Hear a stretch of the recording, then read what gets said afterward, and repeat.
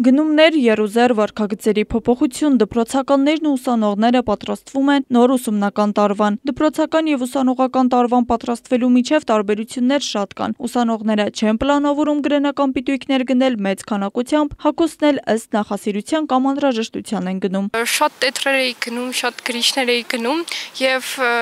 շատ էի սիրում այդ գնումները։ Թե բնականաբար բուհին եմ պատրաստվում, բայց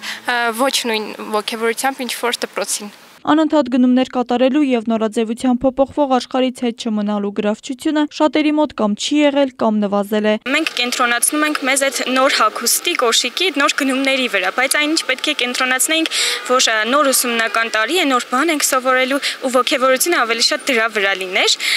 ու երևի դա է վատ կողմը։ Դպրոցականների դեպքում պատկերը այլ է։ Ծախսերը նախապատրաստվելու համար շատ են, հատկապես երբ ընտանիքում դպրոցական է ոչ թե մեկը, այլ երկուսը կամ երեքը։ Ոյ, դպրոցին պատրաստում ենք մեծ ուրախությամբ, գնումներն իհարկե հեշտ չեն անելը, բայց մեծ սիրով աշխատում ենք մեր երեխաների համար ամեն ինչ անել։ Քանի դպրոցական։ Ունեմ երկու դպրոցական,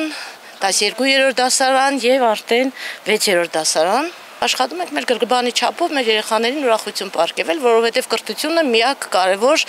գանձն է, որ իրենք իրենց համար պահելու են։ Գնում ենք եւ անհրաժեշտ է եւ աշխատում ենք գնել այն, ինչ որ երեխաները սիրում են։ Ֆինանսական դժվարություններ կան նախորդ տարիների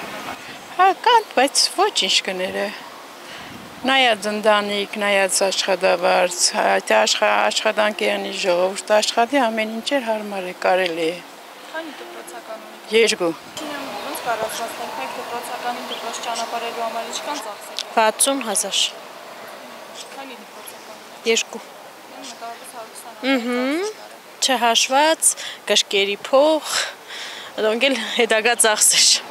Ինչ ինչ գնումներ եք արել առաջին անհրաժեշտության Առաջին անհրաժեշտության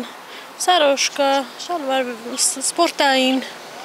այդպես։ Նախորդ տարիների համեմատ բնակիչները զգալի փոփոխություններ չեն տեսնում։ Ծախսերը կրկին արվում են դժվարությամբ, ինչը քաղաքում սոցիալական վատ վիճակի ստաբիլության մասին է խոսում։ Դպրոցներում հագուստների սահմանափակումներ չկան, բայց հիմնականում գնում են սպիտակ վերնաշապիկներ, սպորտային հագուստներ, փոխնորդ կոշիկներ եւ այլն։ Իսկ ինչ վերաբերում է գրենական պիտույքներին, աշխատակիցը կիսվեց գնորդների զարգացող նախասիրությունների մասին պատկերացումներով։ Նշում է դպրոցականներին ավելի հետաքրքիր են փոփոխվող տպագրություններով ու որակյալ գրենական ապրանք ապրանքները, իսկ ծնողներին միջին գնի ապրանքներ ձեռք բերելը։ Գնային մասով մեր մոտ